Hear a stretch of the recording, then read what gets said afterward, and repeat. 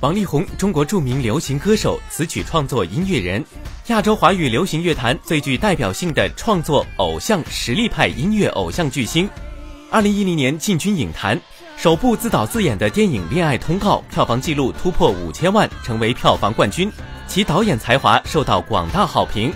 二零一一年九月推出全新作品《火力全开》，并展开《Music Man Two》全球巡回演唱会。